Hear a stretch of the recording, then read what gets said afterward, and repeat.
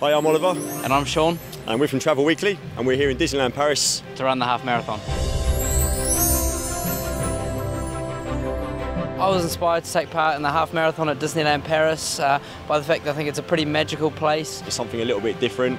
When you're running, you've got little kids running alongside you in princess dresses, and suddenly Mickey Mouse will jump up and slap a high five with you. You don't get that anywhere else. What made the Run Disney experience different for me? Uh, two things. I think one, all of the fantastic magical characters that were all around the place, uh, and two, just the level of support and encouragement that was there. People clapping and cheering you on the whole way uh, made it feel really achievable, uh, and that was fantastic.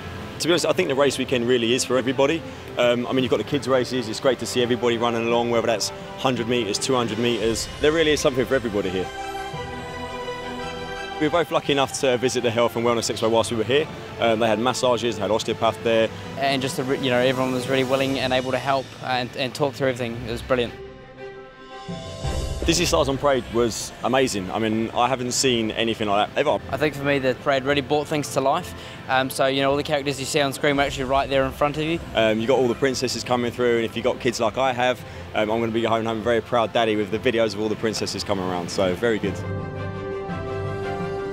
The Disney illuminations were incredible. I mean the fact that they could broadcast something onto a castle um, and then have you know the fireworks going on in the background, the lights. It was just spectacular. To suddenly see the characters come into life, followed by the flames, the, the fireworks, the, the fountains coming out in front of it. Um, yeah, it's like nothing I've ever seen before. It's amazing.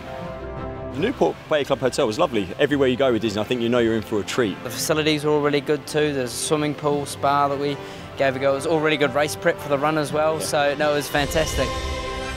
I think the Disney 25th Marathon weekend really genuinely had something for everyone. It's certainly something that I would recommend to anybody. But to sum it up in one word, magical.